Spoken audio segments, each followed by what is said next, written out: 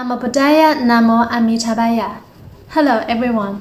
So last time we discussed the 12 links of dependent origination and we talked about the cause of samsara, how reincarnation was caused by our mind, stemmed from a thought of ignorance.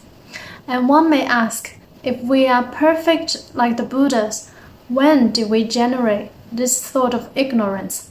And when we become enlightened, will we again give rise to ignorance? So, all these questions. So, today let's discuss it. The Buddha actually dealt with these questions in the Sutra of Perfect Enlightenment, and I'll quote directly from the Sutra. Well, Honor One, if all sentient beings are originally perfect Buddhas, then how can they also possess ignorance? If sentient beings are originally ignorant, how can you say that they have always been perfect Buddhas? If all the worldlings in the ten directions are originally perfectly enlightened, but later give rise to ignorance, at what point do all these Tathagatas regenerate these afflictions? My only request is that you not discard your limitless great compassion and that you reveal the concealed treasure to the bodhisattvas and sentient beings of the degenerate age. This will cause bodhisattvas to gain unshakable faith and allow all sentient beings of the degenerate age to gain access to this teaching, which is a sutra instruction of the complete doctrine, such that they can permanently sever doubt and regret. Having said this, he prostrated himself to the ground. He asked this question three times in succession. Then the world honored one, speaking to the Bodhisattva Vajragarbha, said, Excellent, excellent. Good son, you have asked well for the bodhisattvas and sentient beings of the degenerate age about the Tathagata's extremely deep and recondite final expedient means. This is the highest teaching given by the bodhisattvas, the fully revealed doctrine of the great vehicle, which is able to cause the enlightening bodhisattvas of the ten directions, as well as the sentient beings of the degenerate age, to gain unshakable faith and permanently sever doubt and regret. Now listen well, and I shall explain this for you. Vajragarbha Bodhisattva received this instruction with reverence and great joy, and those in the great assembly became silent and listened. Good sons, all worlds begin and end, are born and die, have prior and after, exist and do not exist, gather and scatter, arise and cease, this circular motion of going and returning without a moment's lapse, variously being grasped and released, is all cyclic existence. The nature of a perfect enlightenment that's discerned without having left cyclic existence is simply transmigratory. If you think you can escape cyclic existence in this way, you are completely off the mark. It is comparable to the way in which shaking the ice can make still water appear to move, or the way that a transfixed gaze can enable the appearance of a fire wheel. In the same way, clouds flying past the moon make it seem to move, and when you are in a moving boat, the shore appears to move. Good sons, all these things are in motion without cease, and even though the objects are already stationary, you can't get a fix on them. How can you possibly expect to get a glimpse of the Buddha's perfect enlightenment with the cyclical, samsaric, stained mind which has never been clear? Because of this, you are prone to give rise to these three mental disturbances. So, what the Buddha is saying that if we try to understand the perfect enlightened Buddha nature with our current cyclic, samsaric, delusional mind, we will not be able to obtain the right answer. So this is actually not the right question to ask because you will not get the right answer anyway. And the Buddha further illustrates this with a metaphor. Good sons, it's like an illusory eye disease falsely engendering a vision of sky flowers. You can't say, when will the sky rearise sky flowers? Why? since the sky originally has no flowers, they do not arise and cease. Samsara and nirvana are the same as arising and ceasing. marvelous enlightenment illuminates perfectly and is free from flowers or eye disease. So, because this sort of ignorance is fundamentally unreal, and samsara is unreal, it's an illusion. So, it's like the metaphor the Buddha talked about here as if someone with sick eyes that engendered a vision of the sky flowers in the sky. And then this person is asking, oh, when did the sky flower appear? But someone with the perfect eyes would tell you there is actually no sky flower in the first place. You see these sky flowers because of your sickness, your eye sickness. And another metaphor the Buddha talked about in the Surangama Sutra is that uh, someone stares at the moon for too long and then he suddenly sees a second moon and he asks someone, Oh, when did this second moon happen? But there was actually no second moon in the first place. Okay, this thought of ignorance is unreal. Samsara is unreal. We are currently in a dream. And I'm talking to you in a dream. You're listening to me in a dream. Uh, because we are so much attached to what's happening in the dream and we think it is real. When we were dreaming in a dream, we think, oh, everything was so real. But when you wake up, you realize, ah, it was just a dream. And you wouldn't even bother to think about, oh, when did I last night give rise to this dream, right? You would just move on with your life.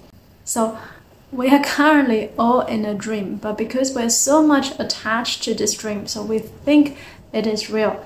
And that's why we're being trapped in the cycle of reincarnation. Regarding to the question of when one realizes Buddhahood, will one again give rise to the thought of ignorance? The Buddha used the metaphor of smelting gold ore.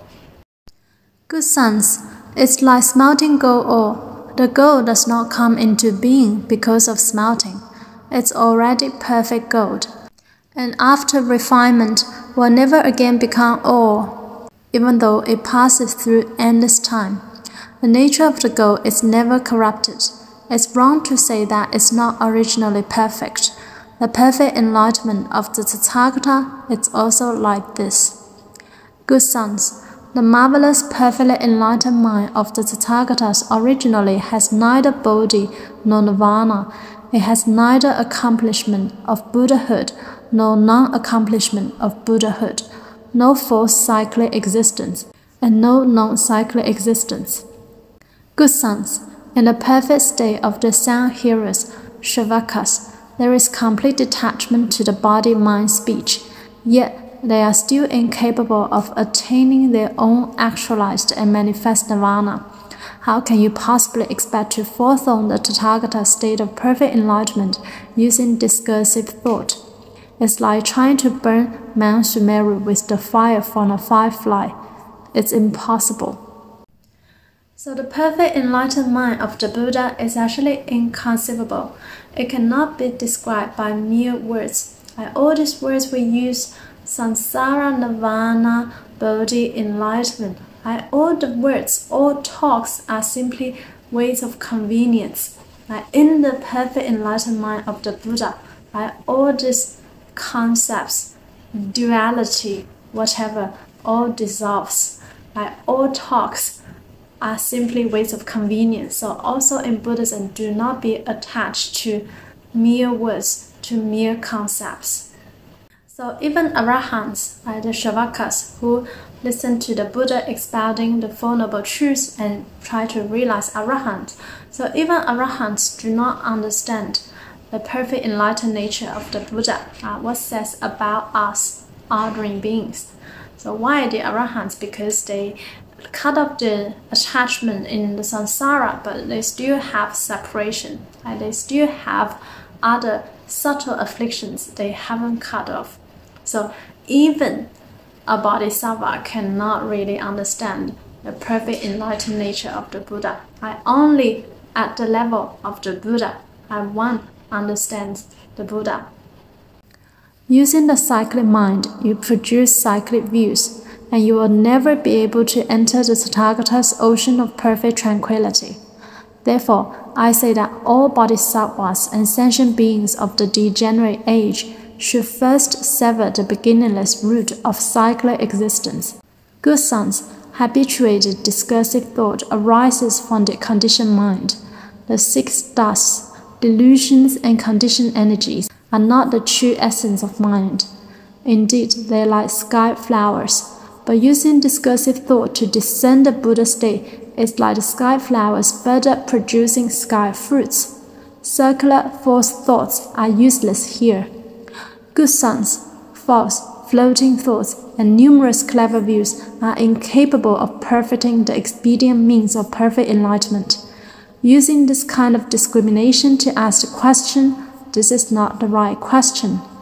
Then the world honored one, desiring to restate the gist of this, spoke a verse saying, Vajragarbha, you should know the Tathagata's perfect tranquil nature has never had a beginning or end. If you use the cycling mind, discursive thought just revolves, at most reaching the limits of cyclic existence, and you are unable to enter the Buddha's sea. It's like smelting gold ore. The gold does not exist because of smelting. Yet crude gold from smelting, once subsequently perfected, never returns to the state of ore. Samsara and nirvana, worldlings and Buddhas, like sky flowers, are appearances. Discursive thought is just an illusory phenomena. What to say about all other delusions? If you can cut off this delusional mind, then you can seek perfect enlightenment. So I think the Buddha answered these questions really clearly. So with the cycling mind, you only generate cycling views. If you try to analyze thoughts generated from the delusional mind, then you only generated more delusions. So this is actually not the right question to ask. Uh, to ask, well, when did we give rise to the thought of ignorance? It's like the parable of the poison arrow. A person was shot with an arrow that was heavily smeared with poison, and the doctor tried to come and rescue him. And he was like, Wait, I won't have this arrow taken out until I know, you know, when did this happen, who shot me, what was his name, his family, etc. he would die of it before he could actually know all these answers. So the first thing for us to do is to cut off the delusional mind to attain enlightenment and we'll be able to wake up from the ground dream of samsara. And what's the easiest way to do that? The easiest is to first recite the name of Amitabha Buddha and to attain rebirth in Amitabha Buddha's Pure Land. This is the easiest path for all beings in the Dharma ending age, as it does not require us to first realize enlightenment here, but we will be able to realize enlightenment to the stage of non regression, a high level of enlightenment, when we attain rebirth in Amitabha Buddha's Pure Land. It's extremely difficult for us to rely on our self effort and realize enlightenment here. It's much easier for us to first attain rebirth in Amitabha Buddha's Pure Land and realize enlightenment there. Right? This is indeed real. The Buddha talked about it in many sutras, which we'll discuss more in the near future. Namo Buddhaya, Namo Amitabhaya.